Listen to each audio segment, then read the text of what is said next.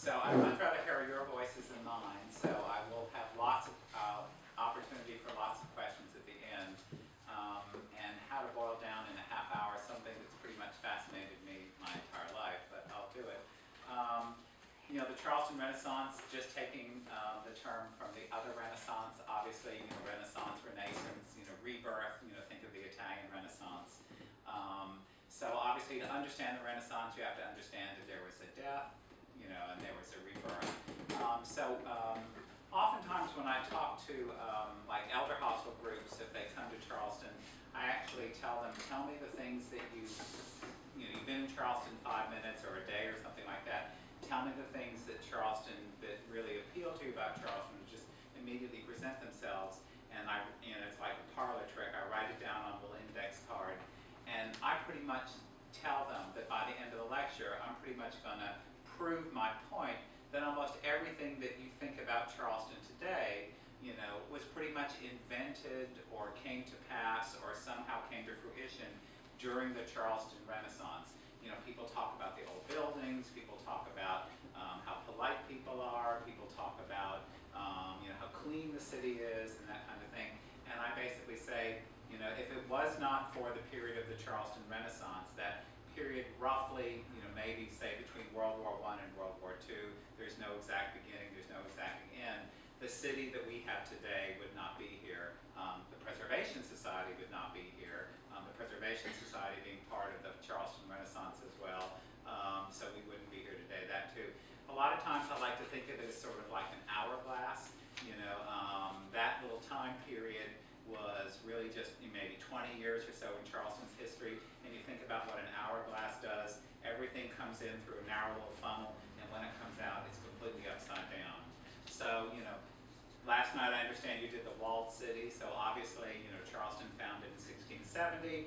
Charleston before the Revolutionary War was a very cultured city.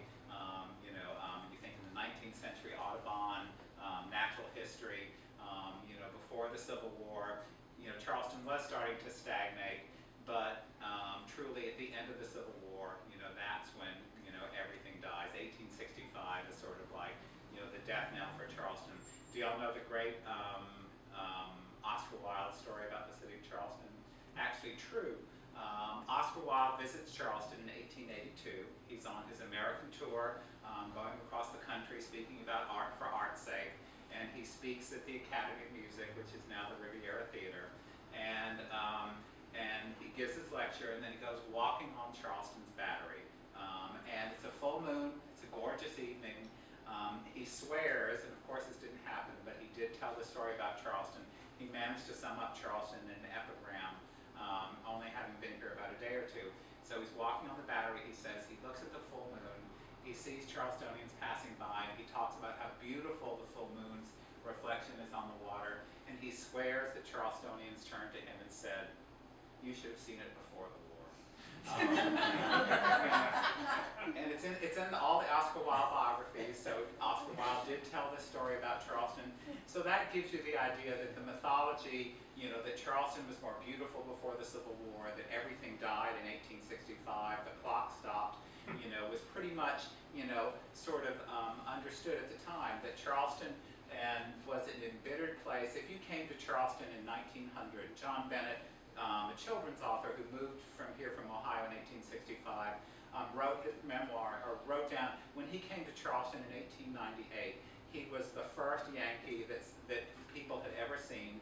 You know, Sam Gaillard Stoney, that you know considered Mr. Charleston, was a little boy at the time. He came up to John Bennett to see if they really did have, if Yankees really did have horns and um, tails. Um, John Bennett told the fact there were no American flags flown in the city of Charleston at the time, that old ladies put stamps, the George Washington stamp, upside down on their letters, you know, as a sign of distress. Um, that when that when tourists walk, you know, Yankee steamers, you know, would come in and people would come out, that um, people would literally throw bricks over the walls to try to hit people on the head. That um, John Bennett said Yankees tourists were not wanted. They did not like how people walked around and looked at the city of Charleston. Charleston really was sort of an embittered place. Um, anything bad in the city of Charleston was called Yankee. When evaporated milk was introduced to the city of Charleston in 1901, they called it Yankee milk. Um, I mean, they really, Charleston was, you know, it, it had been very grand, as like in the Oscar Wilde anecdote, and truly, it, they felt that culture had died. You look around the city and you see, you know, in 1876 or so, they put up that statue to William Gilmore Simms or so on the Battery. A little after that, 1901, they're putting that statue up in Washington Park Timrod, the poet laureate of the Confederacy. They really do think culture has died. They're really bitter. They're staying away from the rest of the country. You know, in 1901, 1902, you know, the exposition where the Citadel is is put up. That actually fails abysmally. Um, Charleston is really um, shuttered and closed. In 1905 or so, Henry James visits the city of Charleston. Um, he's visiting Owen Wister, who's, who's, who's honeymooning here, and he write, Owen Wister writes the novel Lady Baltimore. Henry James visits the city of Charleston, and he says it's a very feminine city. He said there are no men at all on the streets. It's as if the men are still on the battlefield. Um, you know, he talks about, um, you know, seeing one of the um, Piazza's doors open, um, and he can almost like look down into the past. He sees Charleston as a very sort of fragile lotus floating on the water, like he sees Fort Sumter in the distance. Um, it's a very feminine city. There is nothing going on here. It's still a city of the defeated.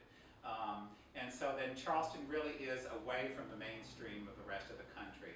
Um, you know, so Charleston is basically, you know, killed in one war, the Civil War, and it's the irony that it's World War I that starts reviving the city of Charleston and starts bringing on the Charleston Renaissance. Um, you know, when the war is declared in 1917, um, there is already a Navy base in the city of Charleston. It's been on the outskirts since about 1901 or so. The Navy base is used as a port of embarkation. Um, it's also where hospital ships are now coming in. So all of a sudden, more people are coming to the city of Charleston. Outsiders are coming in. Um, you know, there's the opportunity to raise the American flag, to unite against a common foe. So Charlestonians are feeling to some extent that they are joining the rest of the country. Um, so that movement is happening at the same time. But at the same time, too, the South is being ridiculed. Many of y'all have probably heard of H.L. Mencken, you know, called the Sage of Baltimore, um, you know, who was really the most culture, the, the, well, the most well-known cultural critic of his time. In 1917, the same time that um, you know World War I is starting to wake Charleston up a little bit, um, he, he writes this essay called The Sahara of the Bozart, and not B-E-A-U-X space A-R-T-S. He calls it the Sahara of the Bozart, B-O-Z-A-R-T-S, like bozo, bozo. And he ridicules the South. He says he says the South does not have a symphony orchestra. There is nothing cultural that has come from the South from decades. Um, he compares it to the um, vacuity of space. He says, you know, there is, you know, he said, you know, the whole of Europe can fit in the South, and there is nothing coming from the American South at all. And, um, and he's pretty much right, and that's why people are very offended. Um, you know, even in the 1930s, um, President Roosevelt calls, you know, the South the problem of the country. So after the Civil War, the, the South is really culturally dead. Charleston in particular is licking its wounds.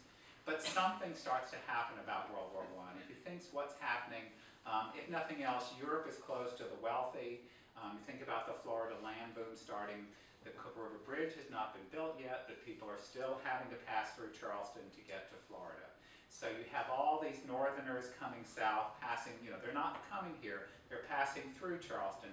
And the city that they see is really remarkable. You know, it's like the Sleeping Beauty kind of thing.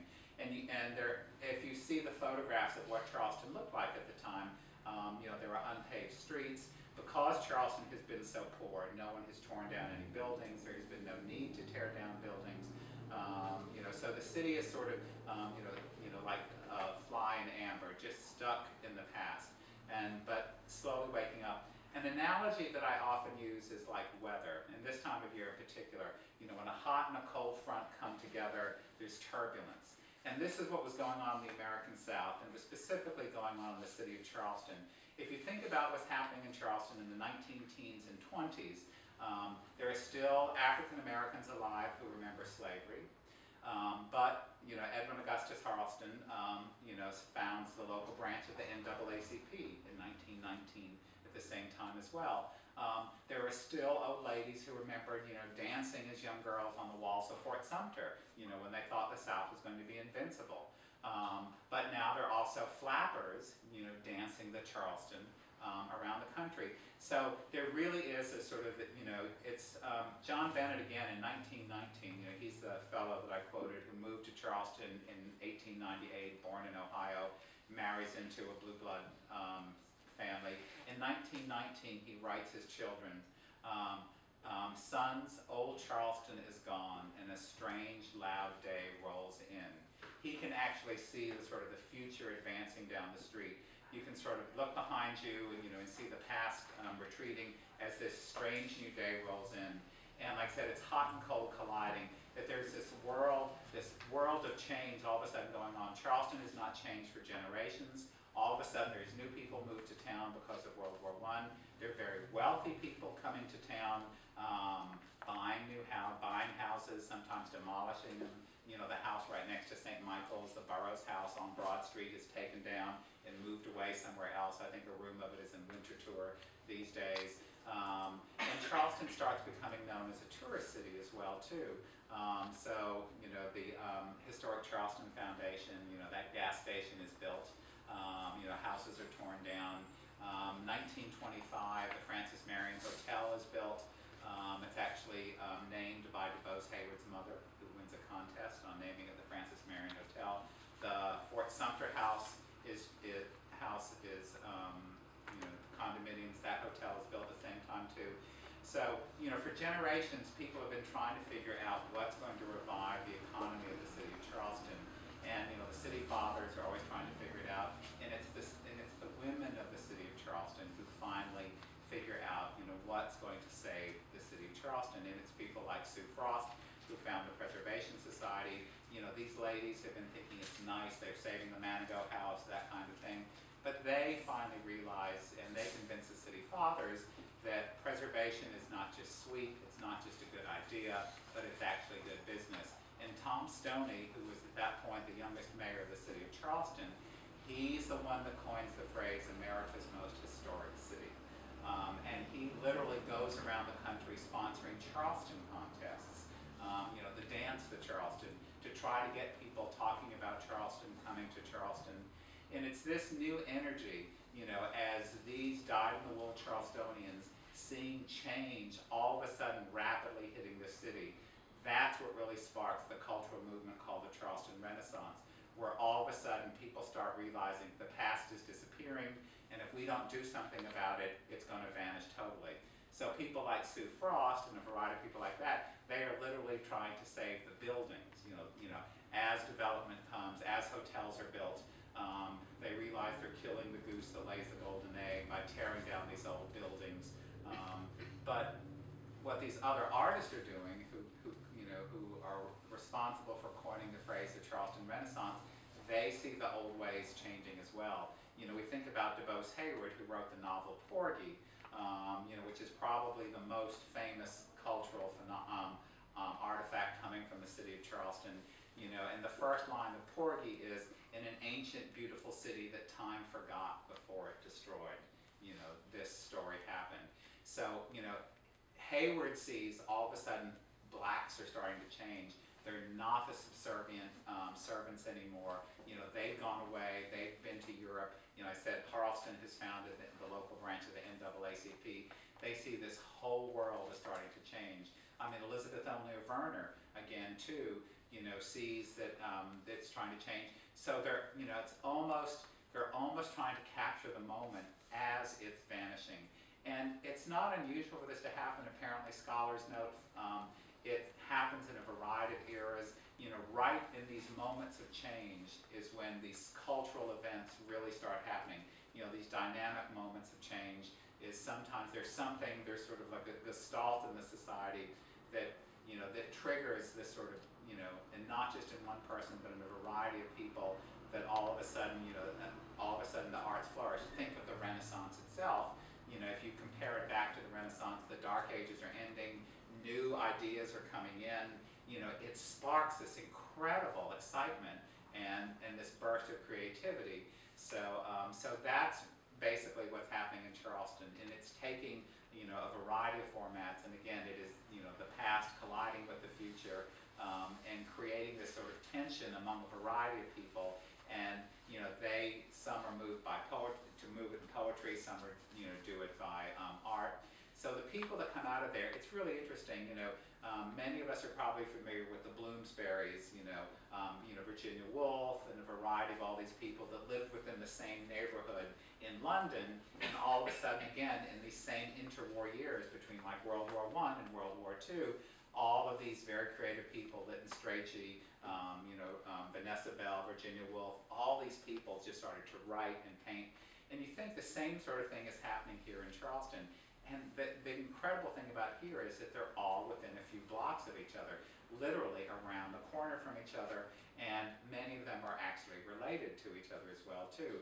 So you think about DuBose Heyward, he's born in 1885, 20 years after the Civil War, um, you know, and he writes his novel Porgy based on 89 to 91 Church Street, you know, Catfish Row, right next door to the Heyward Washington House, which is one of the first houses that's saved in the city of Charleston. Um, so you see how this is all coming together. Um, you know, just down the street is Alice Ravenel, Huger Smith. You know, if anyone's got a Charleston pedigree, you know, school, you know, it's got enough syllables. Um, and she too, but again, she has never, she has rarely left Charleston. People have come to her and taught her. You know, she's more interested in the moods of the marshes and that kind of thing. Um, so she's starting to capture that and, and, you know, and then there are people like Elizabeth O'Neill Verner. But you have to realize as well too, one reason, and, and, and it's a sort of vicious cycle, they can paint and they can sell their paintings because there are tourists coming to town to buy their paintings. Um, and so then it's, it's a very delicate balance, which is I guess what the Preservation Society and all tourism is dedicated to, is trying to keep that delicate balance between preserving the city and commercializing it. But these people are making money off of the tourists. And you know, one book in particular, um, uh, Stephanie Yuhl's, um, The Making of Historic Charleston, A Golden Haze of Memory, um, she really does pretty much um, um, basically, again, prove the point that the city that we know today was really created you know, in the idea of that, you know, in this time period between World War I and World War II you know, the idea that we have of Charleston being America's most historic city, um, Charleston being the leader in the preservation movement, um, you know, it all gels in this time as well. Um, so again, so Alice Smith is painting these beautiful watercolors. Elizabeth O'Neill Verner is doing, um, you know, her etchings. She actually has to support herself. Her husband has died. Um, Alfred Hutty, you know, the, um, one of America's most famous etchers, comes here to start teaching at the Gibbs Museum of Art at the time, you know.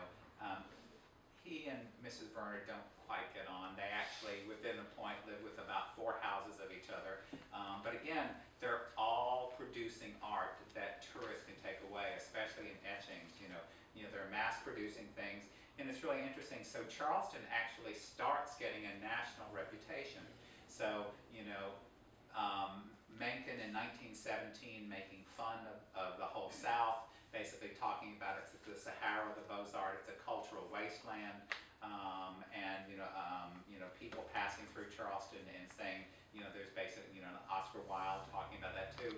So in the 1920s, you know, when the, when the Poetry Society of South Carolina is founded, um, it's the first national, organ, statewide organization, you know, for poets, and and by 1924, um, they're actually doing national radio hookups. The Poetry Society of South Carolina, which meets in the Confederate home, founded by DuBose Heyward and John Bennett and Josephine Pinckney and people like that. In the 1920s, poetry was the rage.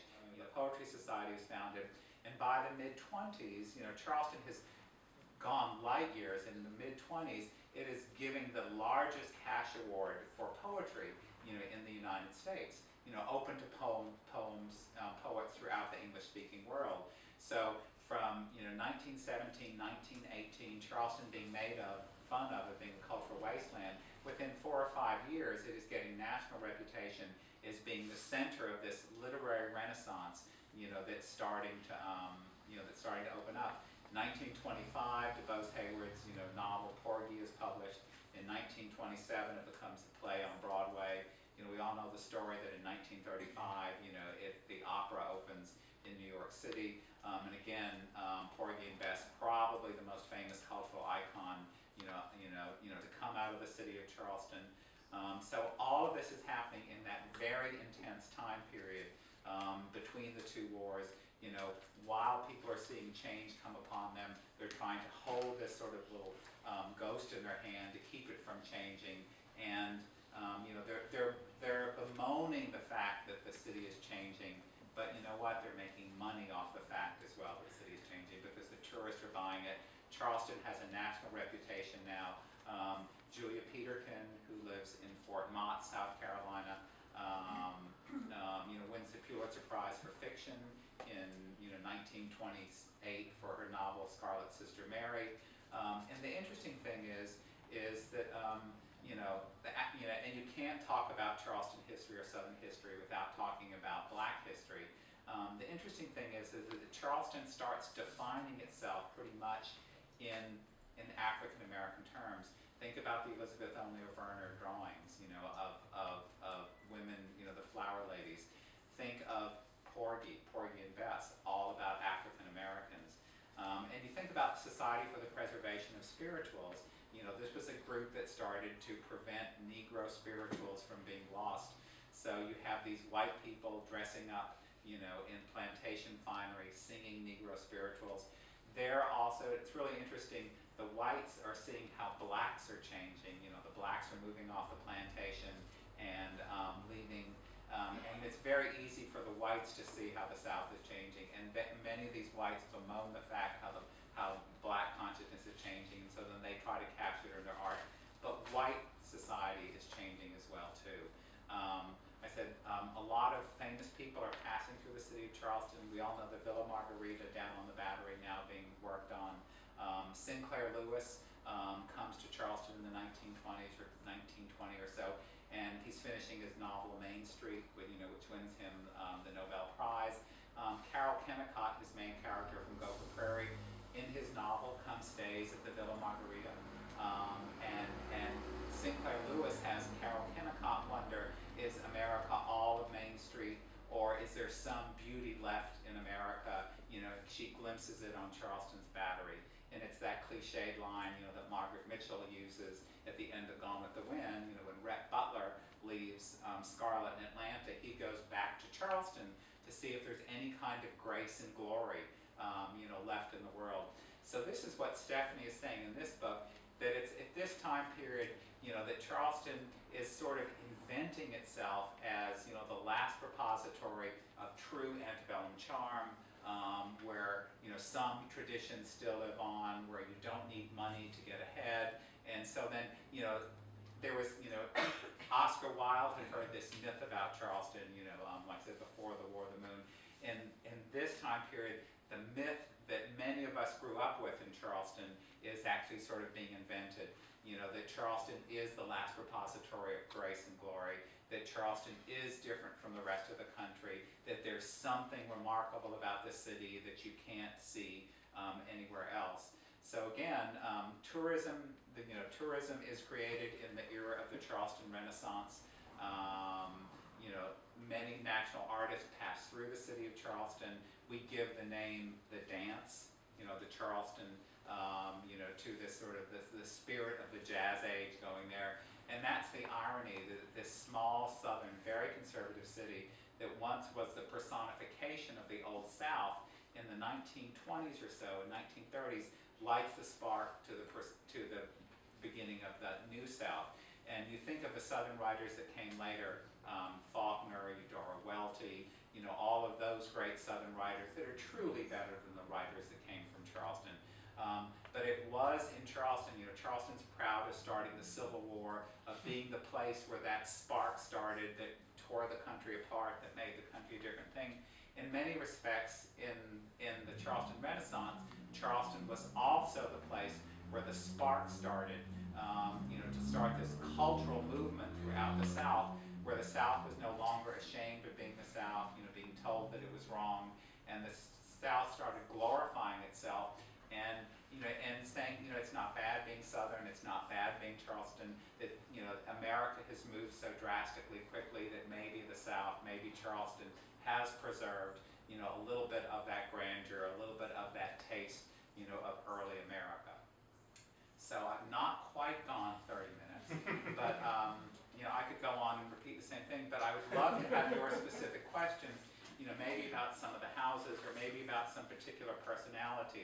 that I've not mentioned. How were the houses on this tour chosen? Were they, cho- I haven't read the Right. material. Um, and I would defer to the people from Preservation Society. Apparently, they did try to choose people that were associated with the Charleston Renaissance. And I know some of the houses, um, one is Eola Willis. Eola Willis was, um, a historian. She wrote in the nineteen twenties. She wrote, um, you know, the history of the Charleston stage. She was also responsible, one of the people sort of responsible for the renovation of the Dock Street Theater. Um, so, you know, there was a shopping list of a variety of people associated with the Charleston Renaissance, and I think what the Preservation Society people did, they tried to find the houses, you know, that were site-specific. I think many of y'all have houses on Atlantic Street. Atlantic Street was where many of the painters lived. Um, you know, um, first, you know, we think of Elizabeth O'Neill Verner's studio at 38 Tradd, but she was first down on Atlantic Street. Alice Ravenel Huger Smith lived at 69 Church Street, but she had a studio on Atlantic Street as well.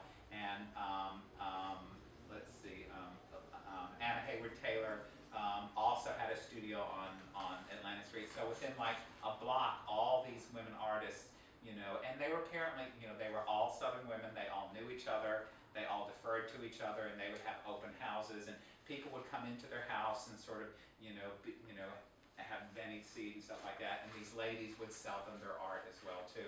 So I know many of them are on Atlantic Street. Do other people have particular houses or dresses that they want to ask about? Um, so again, but it really was all here. If you think, um, you know, if you think about Porgy and Bess being the most important cultural icon that came, so you think about 89 to 91 Church Street or the Heyward Washington House, you know, that's really the epicenter, and that's pretty much the epicenter of, you know, of all the buildings, I guess, on this tour here. And they really did live within a few blocks from each other, and in many cases, they were cousins. And all of a sudden, you know, I think, you know, you know, maybe, you know, me of my generation, we rebelled against what our parents told us was the status quo. And I think to some extent, all these people did too. They saw their parents worshiping the South and being loyal to a past, and they saw some new wave coming in. So they all, you know, they all kind of rebelled against that, and they all, you know, tried to show the South, you know, in Charleston as they saw it, and not through their parents' eyes. Um, other particular questions? I, perhaps I misheard. Sure. Um, Poetry Society. Poetry Society. Met in the society, Well, Society Society Hall or- and in the Confederate, and the Hall? Confederate home. They sort of had offices in the Confederate home, um, you know, but they would have their general meetings, the Poetry Society, um, and they brought in, they brought in speakers like Gertrude And, um, Robert Frost and a variety of people, you know, like that as well, Amy Lowell, um, Edna St. Vincent Millay, you know, again, and these were the rock stars of their time period, the cultural rock stars, so they brought all these people to Charleston, they generally wrote the Charleston poem as well. Um, Harlan, I'm wondering, did these artists consciously choose to live within such a, a close uh, knit community, or was it coincidence, or? I mean, they were members of the close, it, it was, you know, again, it's like the Bloomsburys, you know, they were all related to each other and they all slept with each other, and I'm not saying. But truly, these people on, grew up, Tish. these people all grew up, you know, within, you know, within a few blocks of each other and a few decades of each other. And they all had some kind of common experience, they all saw the society flip at this time, and something sparked them. But obviously, having an encouraging environment like a poetry society where people would meet and encourage each other. And, you know, there was also an Etchers Society, um, and there's also the Preservation Society. This is truly the era when all these societies are founded in the city of Charleston. Like I said, the Preservation Society in 1920, the Poetry Society in 1920, the Etchers Society in like 1922, um, the Society for the Preservation of Negro Spirituals. So beforehand, mm-hmm. um, I don't know if mm-hmm. people were too poor, you know, they were not getting together for intellectual ideas. You know, the county library is founded in the late 1920s, you know, as well, or 1930 or so by Laura Bragg, who's a friend of DuBose Heyward. So it truly is, you know, and we joke today how incestuous Charleston is and how everyone knows each other. But think at this time in particular, when, you know, blacks were certainly mm-hmm. disenfranchised, you know, so they were there. But you think about what a small city Charleston was, and if, you know, and there's still that issue today. You know, if you lived downtown and if you were a blue blood, you were the elite. You know, you and you all knew each other. Um, and these truly were. I mean, there were very few people. You know, Alfred Hutty was from off. Um, he came every winter, you know, and then went back every summer to, um, to Woodstock, New York. But if you think about all the other leaders, they were pretty much all born here except for John Bennett. You know, Josephine Pinckney, a descendant of, you know, Eliza Lucas Pinckney, um, you know, DuBose Heyward, descendant of Thomas Heyward, you know, the Heyward Washington House, signer of the Declaration of Independence. Alice Ravenel, Huger Smith, descended from everybody. Elizabeth O'Neill Verner was slightly, um, you know, her family was, a, you know, they'd been here before the Civil War, but they were Irish and they were Catholic. But still, she grew up on King Street. Um, she grew up on Chalmers Street, you know, so they all were, you know, in many cases, they all went to the same church and were related to each other. Um, so, you know, they, but again, they all were sort of breathing the same air at the same time, and there was something remarkable going on here, um, you know, that, that stimulated them. Um, you mentioned all of these well-known